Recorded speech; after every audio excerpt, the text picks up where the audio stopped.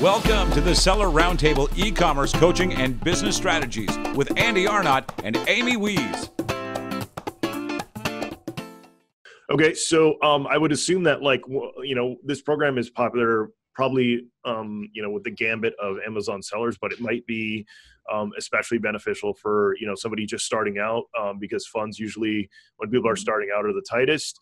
Um, you know, uh, how can new Amazon sellers, you know, fund their business in the beginning, and how, uh, if if uh, at all, you know, does Payability, um, you know, would come into that uh, that factor or you know factor into that?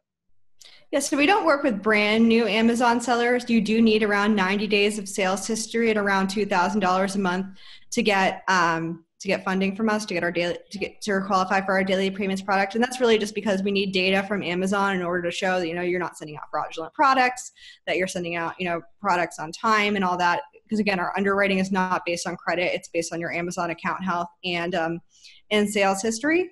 Um, but once you're there this can be a great way to um, to again you know buy inventory when it's available um, negotiate with your suppliers. Um, you know say like your suppliers want to get paid on 45 day terms you say hey if i pay you today what can you do for me? And a lot of times you know it's free shipping 10% off.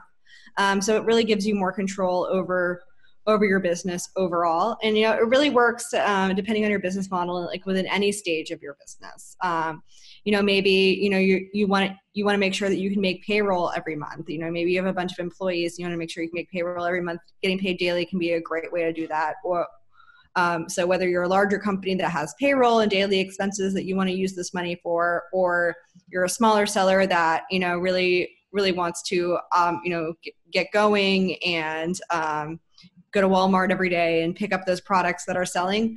Um, you know, it really depends on your business model. Um, so it works for sellers of all sizes.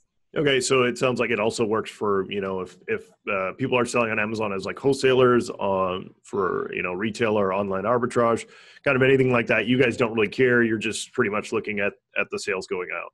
Yeah, we're just looking at like you know the, their sales performance and account health. Um, so yeah. Thanks for tuning in. Join us every Tuesday at 1 p.m. Pacific Standard Time for live Q&A and bonus content after the recording at sellerroundtable.com sponsored by the ultimate software tool for Amazon sales and growth, sellerseo.com and amazingathome.com.